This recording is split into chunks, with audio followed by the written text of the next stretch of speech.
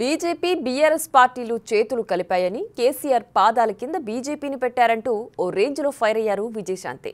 బీజేపీలో కేసీఆర్ నాటిన మొక్క అంటూ ఈటెలను ప్రస్తావించారు విజయశాంతి.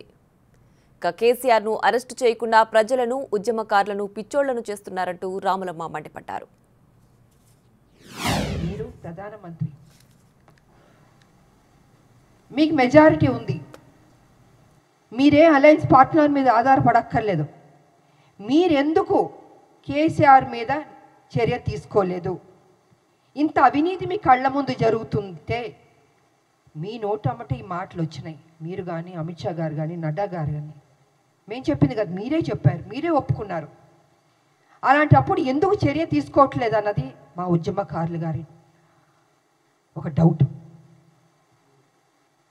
మిమ్మల్ని ఎవరు ఆపారు? మిమ్మల్ని ఎవరు ఆపలేదు? మీ దగ్గర ఆధారాలు ఉన్నప్పుడు చర్యలు తీసుకుని ఉండొచ్చు కదా. ఎందుకు చర్యలు తీసుకోలేదు? అంటే మాకు అర్థమైంది ఏంటంటే బీజేపీ టీఆర్ఎస్ ఒకటి.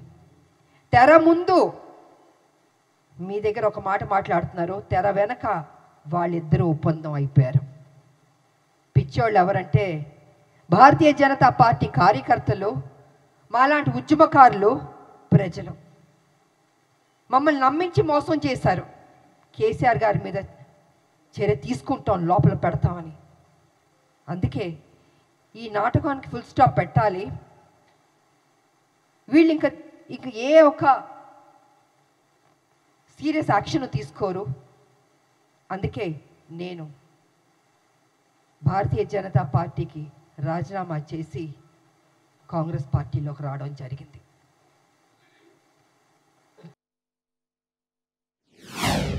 ఇక కాళేశ్వరం దానికి వస్తే హయ్యెస్ట్ కరప్టెడ్ కరప్షన్ జరిగింది కాళేశ్వరంలో.